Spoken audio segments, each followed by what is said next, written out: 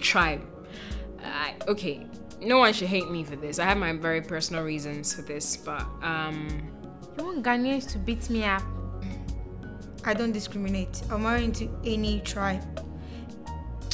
I'm not trying to be ethnocentric, but uh, I wouldn't try an Ewe. I, I, I, I, I can't say never. It's the person, um, the personality um, of the person shows.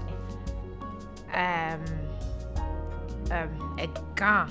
But I, I have never really been like or gone towards like uh, um, a- an Ewe. Um, someone might be whoever they are, the tribe you don't like.